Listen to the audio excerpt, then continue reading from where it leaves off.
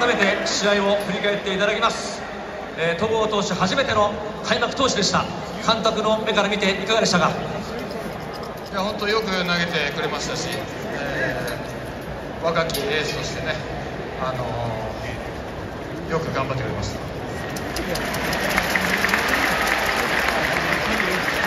そして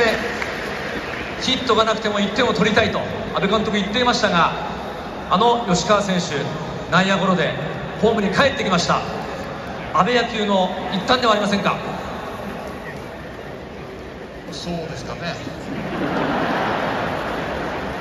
まあ、あのらしい今年最初の得点だったかなと思います。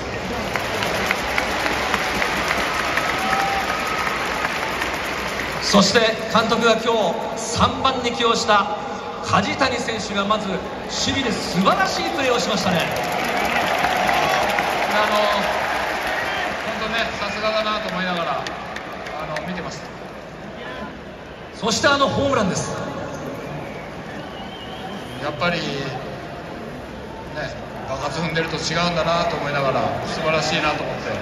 見てましたそして投げる方では最後大勢と締めましたが7回にルーキーの西田投手素晴らしいピッチングに見えました。そうですね。あの初登板で、まあ、3点ありましたし、えー、すごくねいい内容で、まあ、初登板とは思えないようなね、まあ、鬼は緊張したみたいなんですけど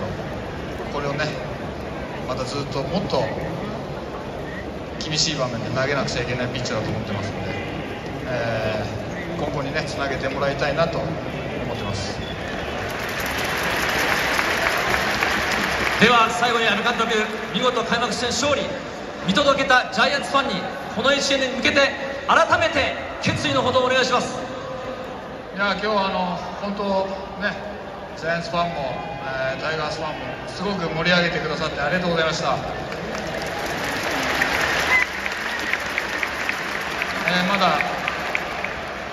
今日勝つためだけにやってませんのでもう今日は今日明日は明日で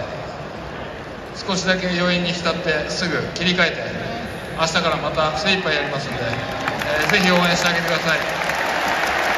見事開幕戦勝利阿部慎之助監督でした。放送席どうぞ。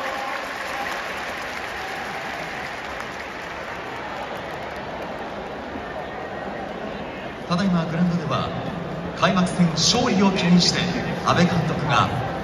ヒーローズプレートにサインを行っております。